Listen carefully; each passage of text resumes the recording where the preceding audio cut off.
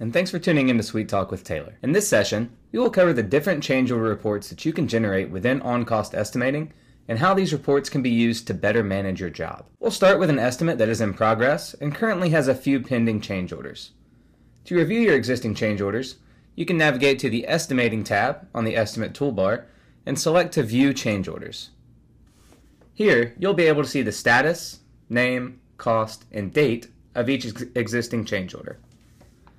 As you can see, we have four pending change orders on this job. The first report we discuss for the change orders today will be the change order documents.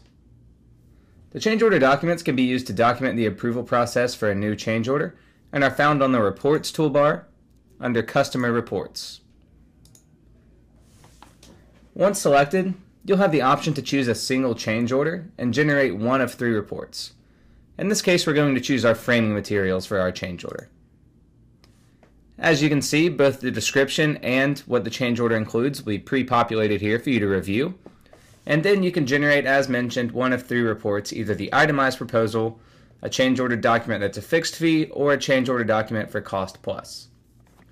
The itemized proposal will be the first one we generate today, and this will generate a list of all of the additional items that will be necessary for the change order so that you can see a cost breakdown of the work. You can choose the display columns here, and once generated, it will look something like this.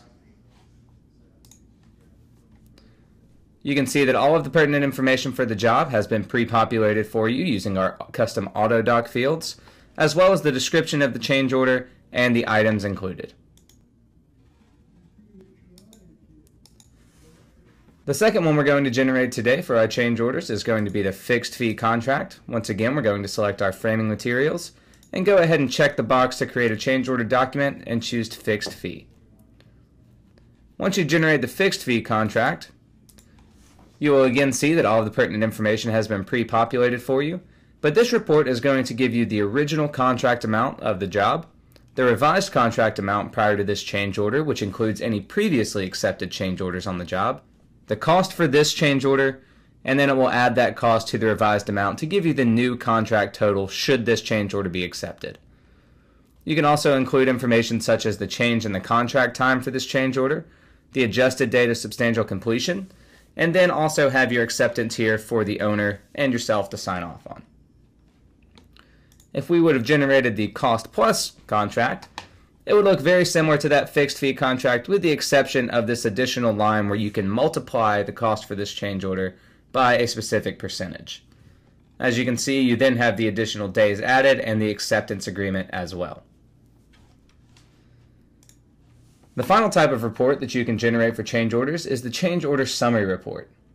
This report will allow you to display all of the change orders that are on the current estimate, and it can also be found underneath our customer reports.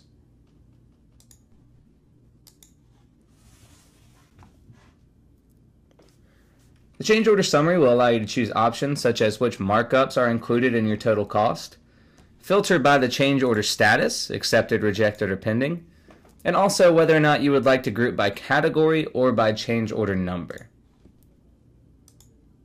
Once you generate the report, you'll see that all of our change orders for the job have been displayed here, or at least all of the ones that we have selected, depending on those status and filters.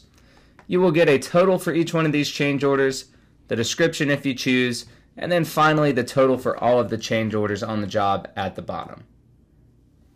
Properly managing change orders is essential to ensure that any changes to the original contract are crystal clear and that the client fully understands the cost of the additional work. With our change order reports, you can leave a paper trail not only documenting the necessary changes, but also the explicit agreement of the client to pay those additional costs. Thanks for tuning in to SuiteTalk.